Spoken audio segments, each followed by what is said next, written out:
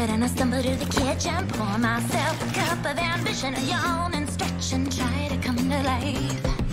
Jump in the shower and the blood starts pumping. Out on the street, the traffic starts jumping, and folks like me on the job from nine to five. Working nine to five. Ow! You just burned me! Oh my god, I'm sorry. Um, maybe it would be easier if you took your shirt off? Uh, don't be lazy.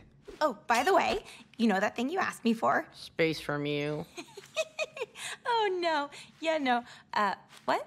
Uh, anyways, uh, you said you needed a way to make your smoothies even fruitier on stage? You did? Shh. Yes, that is what I want. Go on. Well, I had an idea. Crim, honey, that's not an idea. Those are shoulder pads. I beg to differ. It's a high powered vacuum. I finally put that master's degree in engineering to good use. See? You just pop the grape or strawberry or blueberry or guava slice right in here, and it releases the fruit's essence through here. Once you're on stage, lightly tap this button, just delicately, you know, like once.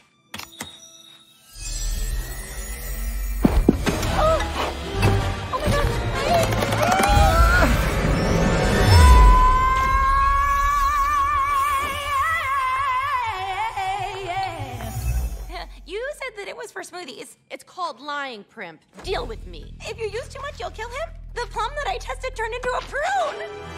I don't want to kill the little guy. They're kind of cute when they're up and about, banging on the walls, yelling to go home. Do you want to lose all this and go back to the dark place where we had nothing? Please, sir. I want some more. Girl, we grew up in the suburbs. Our parents were dentists. So, how was school today? Stop attacking me! Our parents were nobodies, and we were nobodies. And when I met you, you were literally sucking your thumb and pooping all over the place. You met me when I was a baby, so. all I'm- over the place. It was nuts. You don't want to give up all the yachts and the bling and your illegal pet monkey, do you? okay, I've made my peace with it. Great job, Cringe. You're smarter than I thought. Now I don't trust you. That's maybe not a rational response. I don't, um, please don't put me in the closet. No, come on. We're about to go from stars to mega stars. Please, Veneer. It's nothing personal. I just love my sister and all my fame and money and things I bought. Yeah, sure. Dying sucks, but at least it's for some sweet bling a ding and some boho chic home furnishings. you get it.